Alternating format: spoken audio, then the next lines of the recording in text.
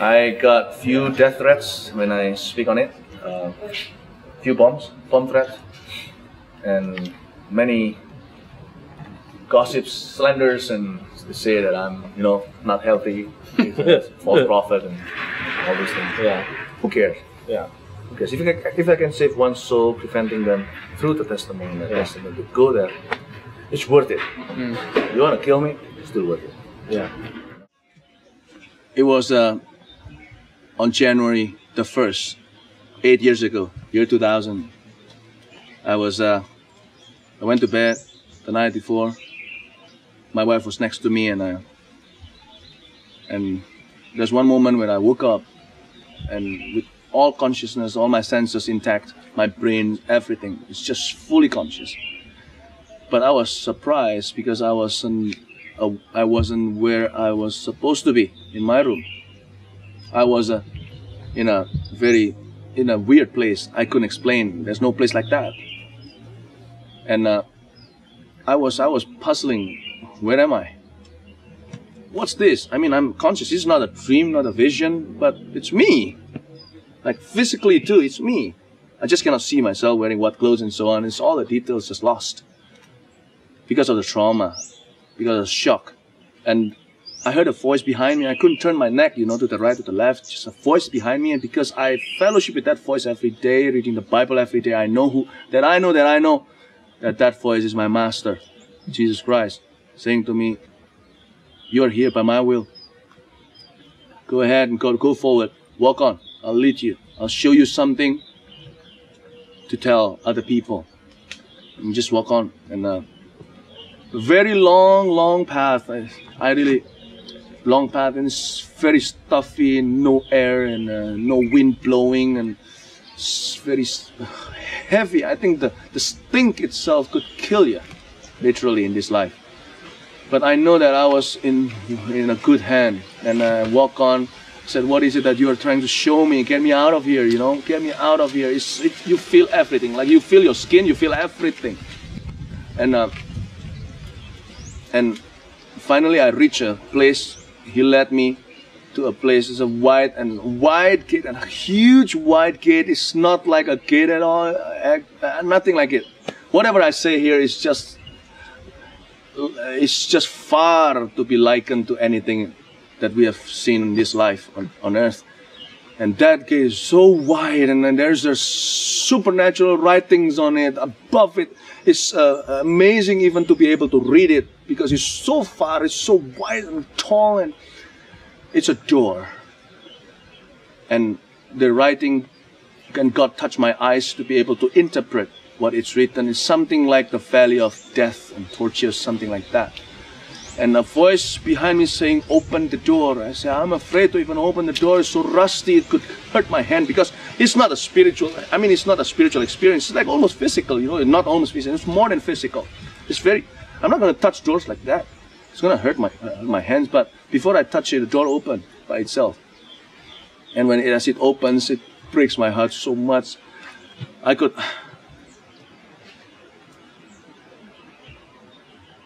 I could hear all those, all those. I, I could, I could hear people, people, voices, voices of human being, crying for help and cursing everything, you name it, and it's not clear anymore. So many people and gnashing of teeth and, and the heat just, the darkness just came out. It's not like darkness, like there's no light and this is darkness. It's the darkness is a force and it's a, it's a reality. It's, it's, it's, it's feeling the wrath of God in the air. And and as I opened the door and and I could see I was by the gate and I knew exactly where I was. I was where the dead are kept until the day of the judgment of Jesus Christ, the white throne judgment that is written in the book of Revelation. And before I could see anything else, I could see far far away, far, far away. It's too far for man to reach with his eyes, but because God, because of Jesus and his, his, his power, I could see it very far away. Endless, endless. At, at that direction in front of me is really endless. And I could see smoke billowing up. And and it was like there is a glow of fire though i could not see the end of the fire. It must be the valley must be very deep you know. And the lake must be deep. It must be a lake of fire or something. And it's and and and, and it's so huge i could only see the smoke billowing up. And and and I begin to see a lot of tortures happen, and I, re- I re- reminded what is written in the book of Revelation that no one has been thrown into that lake of fire, not the devil, not human beings who died and perished in his sin, no one until the throne of under the white throne judgment of Jesus Christ. So I know where I'm standing at is by the gate of death, where I see so millions, and only God knows the numbers. It's a lot, trust me, a lot more than people who go to church for sure. and I saw people being tortured by the free demon spirits that are although condemned, but they are not yet judged and not yet bound, not yet, not yet thrown into the lake of fire. And these human beings, who, these dead people, who is, mm, trust me, they are not dead at all. They are alive and more alive than they thought, than, they, than we think. And they are tortured day and night by the spirits and the, that, that they serve them in their lives with their sins. And this is pay up time. This is not judgment time, this is just pay up time, you know. These spirits own them forever. And these spirits, these devils, demon spirits, and this devil, and this all these cursed, dead people who perish in their sins gonna be thrown to the lake of fire. And I could see all kinds of torture there. People are tortured according to their sins on earth. Not because it's God's judgment. God's judgment is fair, but this is like a playground, playtime for the devil. You know, Jesus says it's better for you to go to heaven one eye if your eye causes you to sin. Gouge it out because it's better for you to be one eyed into heaven than two eyes into heaven. You know what happened? If you sin with your eyes, then your eyes are the are the play toy in that in that in that torture chamber. Not even a chamber is too small. Chamber is too small. And if your hands causes you to sin, one of your hands just causes you to sin, just just just cut it off. It's better for you to be one-handed into heaven and two-handed I saw all kinds of torture and people and oh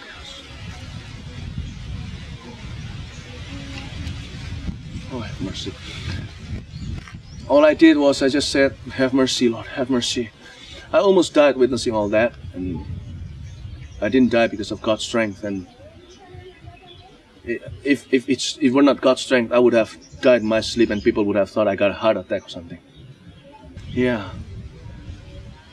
And after that experience, I woke up in the in the morning. I got pain all over my body. I threw up almost every day. Just thinking about it, it's so traumatic. Especially if people ask you ask you how to tell a story, that would be like killing you again and again and again. And nine months after that, I did the first crusade. It was after a lot of bargaining with God. God told me, Holy Spirit urged me to, to do a crusade and share a testimony. I said, What? I don't want to. I don't think I could, you know. Secondly, I don't want people to think I'm crazy. I've been called false prophet.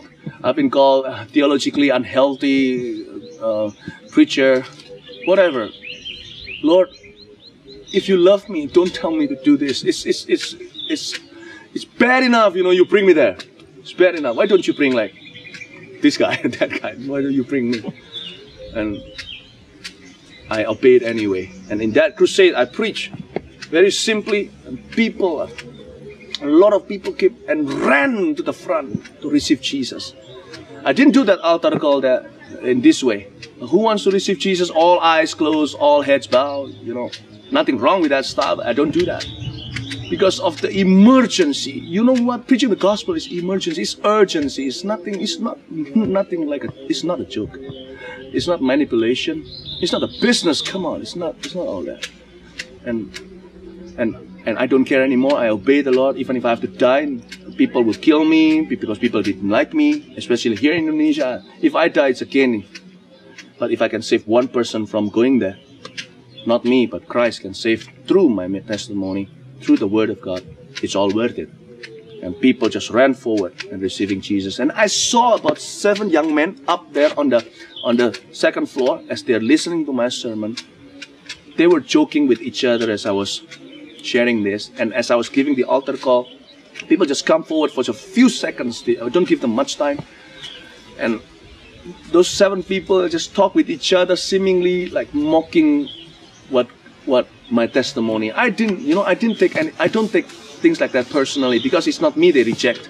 Suddenly, I get my first vision in that crusade. I got a vision. These seven people willingly holding hands together jump into the lake of fire, and that broke my heart.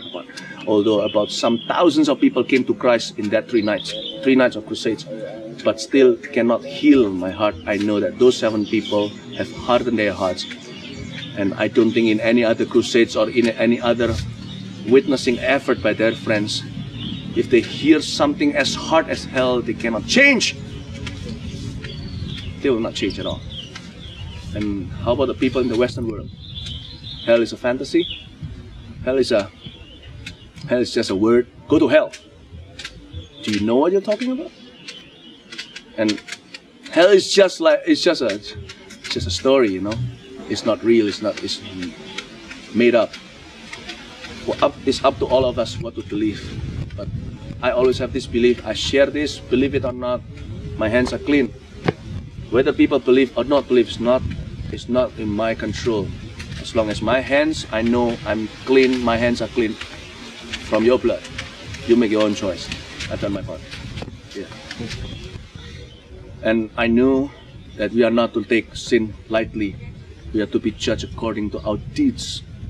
And Jesus Christ comes, died, came, died a, a, a, a horrible death. There must be something horrible in death for all human beings to experience, for such a love to be sent from above to die a horribly and, and, and embarrassingly humiliating death like Jesus Jesus did on the cross. We must not take things easily, take take sin easily, and yeah.